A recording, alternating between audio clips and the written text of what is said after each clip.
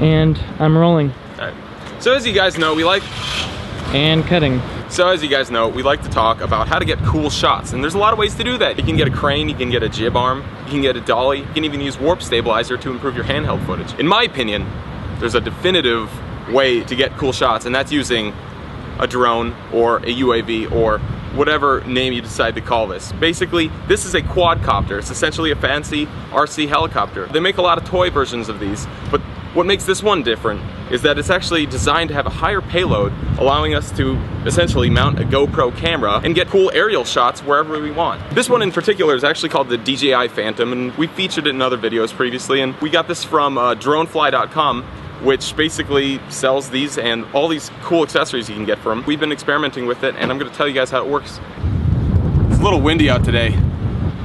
It always makes me nervous, even though I know it really shouldn't be a problem. Booting it up, and right now, uh, these drones actually uh, link up with GPS satellites to determine its position. This allows it to actually like uh, re remember where it is in three-dimensional space. The light is blinking green, that means it's linked up with the satellites. So I'm gonna take this thing for a spin.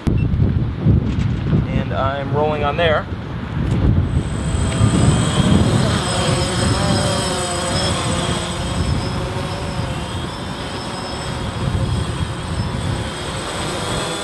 Using the combination of GPS and everything and the sensors inside, it's able to pretty much uh, stay on autopilot like this. My hands aren't even on the controls. Pretty much compensate for any uh, any wind being thrown at it, which is pretty nice.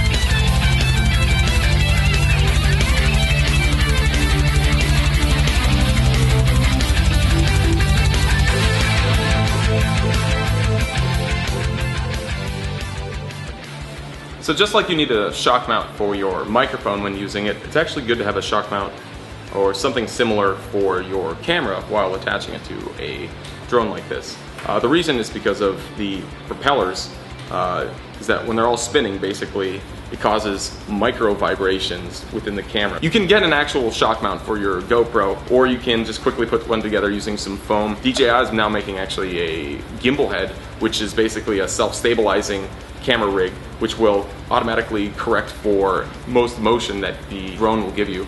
Um, but basically, that's one big thing to keep in mind, especially when using cameras with rolling shutters such as the GoPro. You'll start seeing your footage, it'll look all wobbly, really kind of a pain in the butt to take out. So make sure you keep that in mind. We're actually going to be using a even more crazy rig than this on an upcoming shoot, one that actually allows us to control the camera separately from the body of the drone. You'll see more about that in our next behind the scenes. So I hope you guys learned something, and if you have any questions, hit us up on Twitter or Facebook or email or whatever suits you best.